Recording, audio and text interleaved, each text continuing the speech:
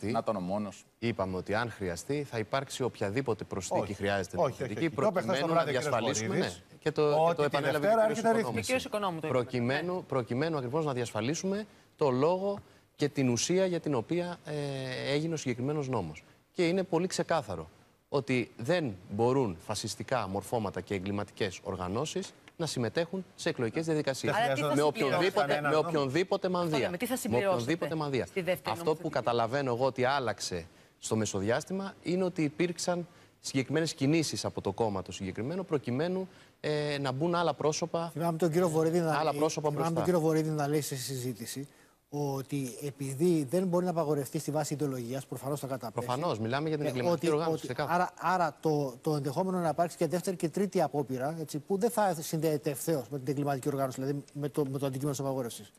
Νομίζω ότι ε, το, το, αυτό το οποίο, στο οποίο πρέπει να μείνουμε και να υπογραμμίσουμε είναι ότι δεν μπορεί κανένα άλλο πρόσωπο να μπει μπροστά ε, εκ, εκπροσωπώντας ένα κόμμα πώς είτε μπορεί να κρύβοντάς γίνει. το. Και πώς μπορεί να Ε, γίνει αυτό, θα διασ... αυτό υπάρχει ήδη ένα ισχυρό θεσμικό πλαίσιο και θα γίνει οποιαδήποτε προσθήκη Και πώς χρειάζεται θα για να το γίνει τώρα, διασφαλίσουμε. δηλαδή, συγγνώμη, η κοινοβουλευτική δημοκρατία θα σέρνεται πίσω από τα τερτύπια του Κασιδιάρη και κάθε φορά που Μα ο Κασιδιάρης ακριβώς, μέσα μα- από τη φυλακή θα σκέφτεται κάτι, θα πηγαίνει και θα βουλώνει μια τρύπα; Ακριβώς, ακριβώς για να αποφύγουμε αυτό στο οποίο αναφέρεστε, γι' αυτό το λόγο θα γίνει και οποιαδήποτε προσθήκη χρειάζεται. Τι λέτε, στο, κύριε Τσίπρα, στο ήδη γιατί υπάρχον γελάτε; θεσμικό πλαίσιο. Χαμογελάτε. ναι. Γελάω. Καταρχάς δεν ισχύει αυτό που λέει ο κ. Ρωμανός, ότι απαγορεύτηκε να κατέβουν σε εκλογές φασιστικές οργανώσεις κτλ. Δεν είναι αυτό το νόημα του, του, του νόμου Αλλά- του αρχικού.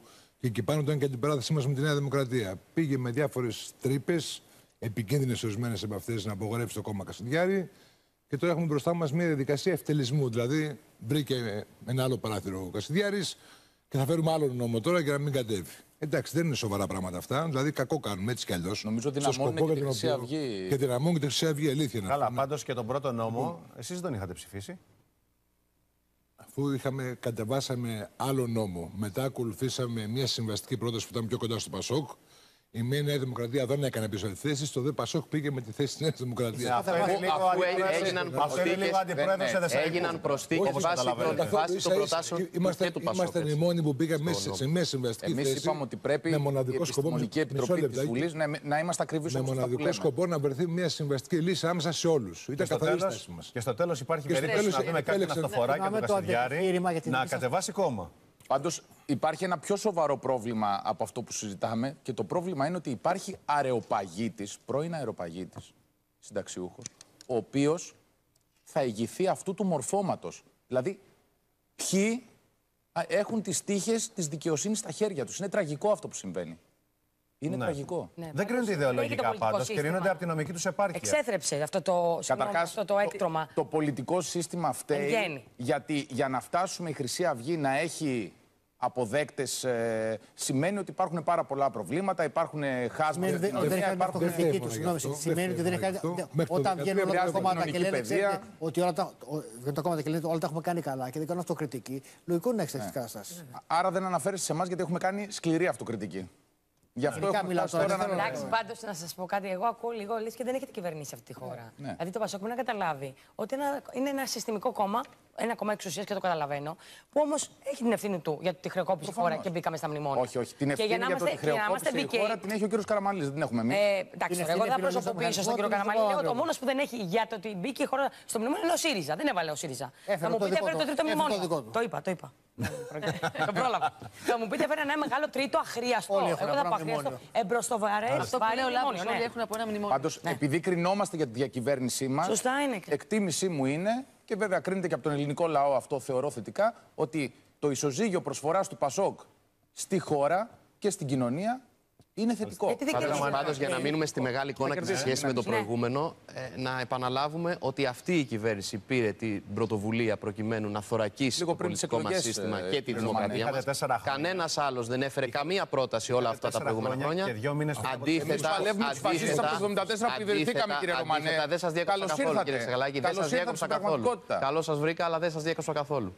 Ε, λοιπόν, ε, α, λέμε, εν, κύριε αντιθέσει, Ρωμανέ, εν αντιθέσει λοιπόν με άλλους οι οποίοι συμπορεύονταν. Και στο αντιμνημονιακό μέτωπο, μια που με πήγατε στα τόσο πα- προηγούμενα χρόνια. Ζάπια. Τώρα Και- για- και για- στα- και- γιάζετε και τον στη- κύριο και- Τσίπρα τώρα. και- Ελάει, συγγνώμη, πολύ και χαμόγελα σε μία τώρα σειρά- στις εποχές και σε της μία πάνω και της σειρά κάτω πλατείας. και Με σε τη μία σοβαρή σειρά Χρυσή Αυγή και ήταν σε και μία η σειρά σοβαρή Χρυσή πρωτοβουλειών Αυγή. Το θυμάστε. όσο κυβερνούσαν. Θυμάμαι να είναι μαζί σε τελετές με τον κύριο Καμένο, δίπλα-δίπλα με τον κύριο Κασιδιάρη, βουλευτές του ΣΥΡΙΖΑ. Θυμάμαι να λένε ότι δεν περισσεύει καμία ψήφος και δεν υπάρχουν καλές και, κακοί, και κακές ψήφοι ε, στο, Ευρω... στο Κοινοβούλιο ε, και για τον εκλογικό νόμο. Δεν έχουν πει τίποτα. Για τον... Προφανώς και το έχετε πει. Το, το, Δεν το- έχουμε ο πει κύριος τέτοιο Βουλής- πράγμα. το έχει πει ο Ποτέ. κύριος Βουλής. Τώρα λέτε Λοιπόν, ψέματα, δεν έχουμε ε, πει. άρα λοιπόν, άρα λοιπόν Κύριε Ρωμανέ, άλλοι και ε, τους πήραν για να μας αγκαζέ πείσετε- και άλλοι ε, θράφησαν πολιτικά μαζί τους πρακτικά. για να μας γιατί πείσετε για όλα από το αυτά- 3% στο 30% πήγαν την εποχή που επίσης η ε, Χρυσή Αυγή από το 0,5% πήγε στο 8%. Επειδή εκλογές έχουμε, μπει δεν μπει ε, τώρα το, το συγκεκριμένο κόμμα, ε, αποκλείεται να υπάρξει αυτοδυναμία που είναι ο βασικός κόμμας στην πρώτη Κυριακή. Πάμε στη δεύτερη. Αν και εκεί δεν επιτευχθεί, τι κάνετε; Θα πάμε σε τρίτες εκλογές. Α, Θα πηγαίνουμε Και σε αν δεν εκλογές. επιτευχθεί πάλι. Είμαστε λίγο μπερδεμένοι και θέλουμε, επειδή εσείς δεν μασάτε και τα λόγια σας, θέλουμε να καταλάβουμε. Ο Κυριάκος Μητσοτάκης θα μπει σε κυβέρνηση συνεργασίας αν μετά τη δεύτερη Κυριακή δεν έχουμε ε, αυτοδύναμη κυβέρνηση ή θα κάνουμε εκλογές μέχρι να σβήσει ο ήλιος; Λοιπόν, για να καταλάβετε, Τώρα ανατέλει για, ξανά. για να καταλάβετε Καθένα στον πόνο του. Για να καταλάβετε Καθένας λοιπόν τα δικά και εσείς και όσοι μας παρακολουθούν, πρέπει ο καθένας να έχει μια πολύ καθαρή πρόταση. Η δική μας πρόταση νομίζω είναι η πιο καθαρή στο τραπέζι.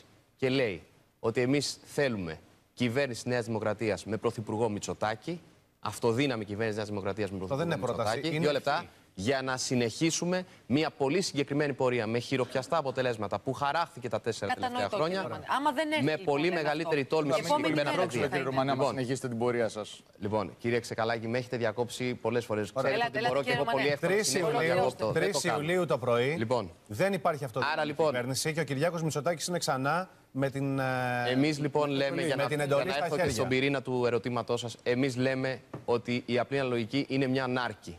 Αυτή φύγαμε. Φύγαμε Αυτή, 21 τη- αυτή Απριλίου. λοιπόν πρέπει να την απενεργοποιήσουμε. Πάμε παρακάτω. Αυτοί οι οποίοι είναι υπέρ των κυβερνήσεων συνεργασίας είναι αυτοί που πρέπει να σας απαντήσουν για το πώς φαντάζονται αυτά τα σενάρια.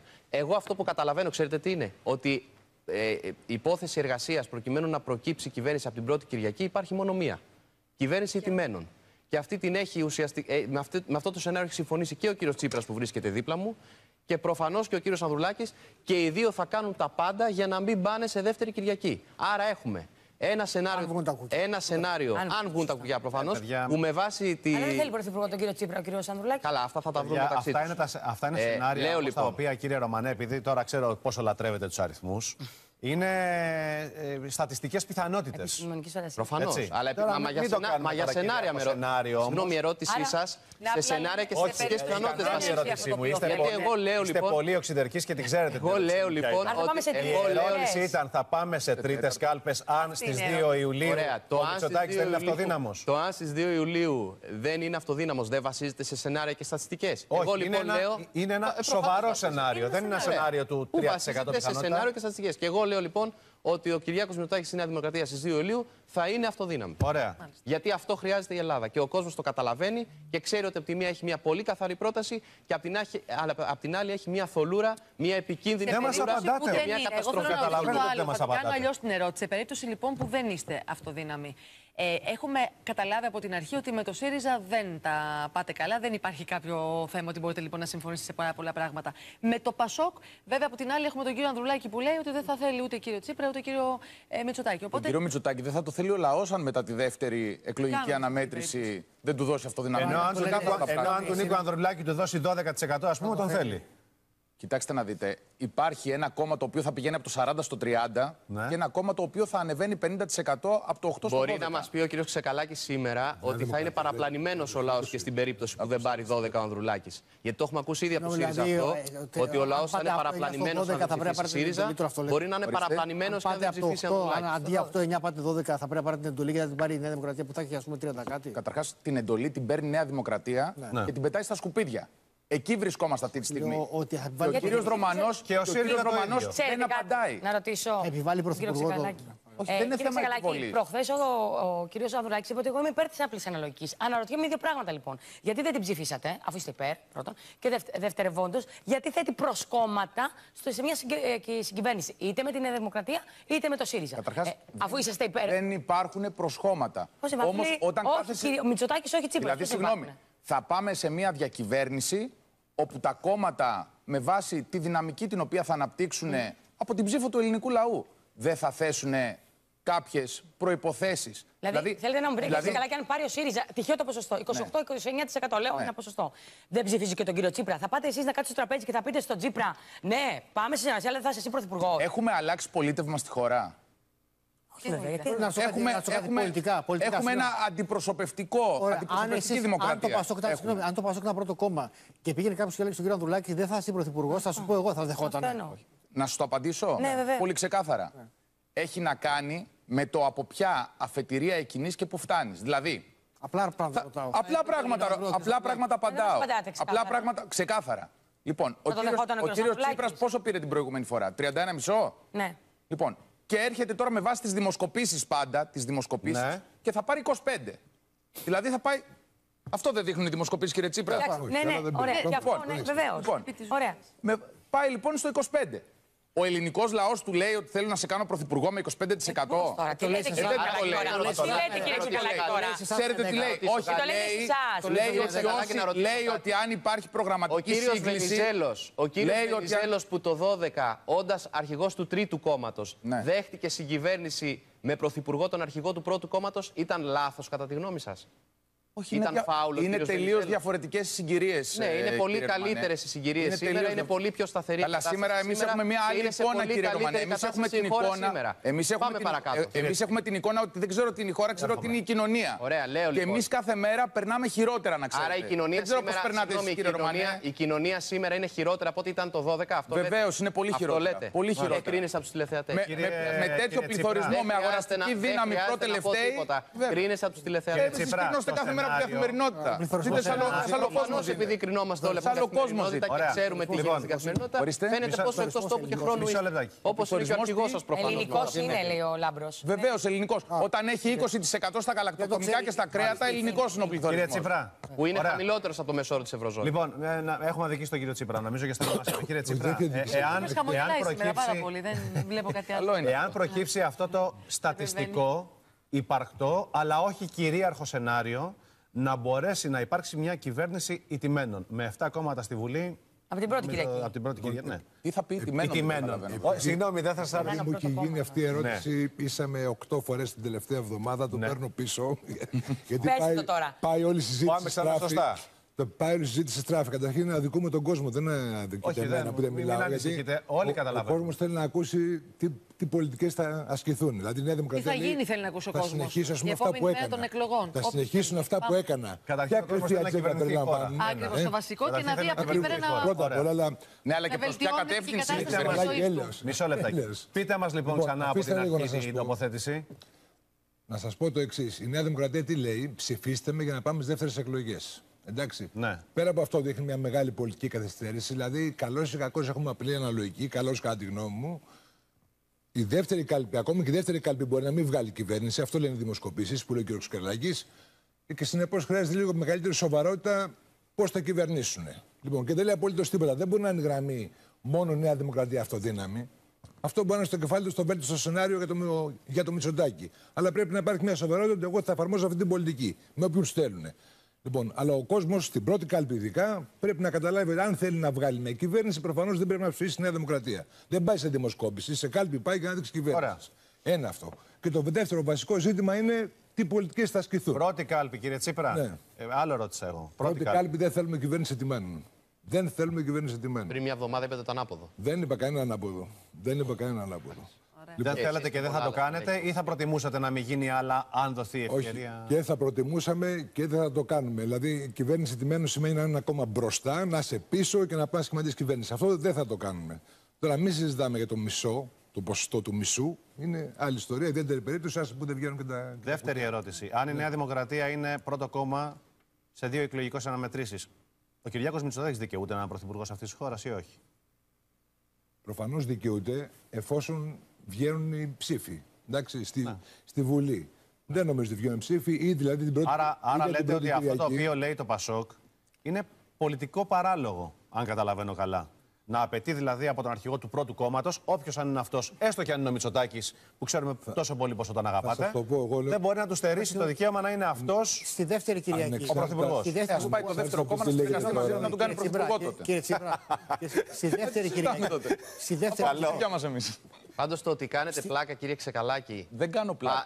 συζητώντας Δεν κάνω πιο πλάκα. αντιθεσμική πρόταση που έχει τεθεί ποτέ στο μάλλον τραπέζι δεν στην ξέρετε πώς μεταπολίτευση, λειτουργεί το πολίτευμα, κύριε Ρωμανέ. Νομίζω ότι ξεπερνάει Γιατί και τα μπαίνουμε όρια μέσα σε στη κάποιους. Βουλή και αναζητείτε οι δεδηλωμένοι. Παιδί μου, παίρνετε συνέχεια το λόγο. Εντάξει, Ανεξάρτητα. όχι, Ε, να ε, μιλήσω, ε, κύριε Να ρωτήσω κάτι. Στη δεύτερη Κυριακή, επειδή τα κουκιά είναι αλλιώς λόγω της της ενισχυμένης.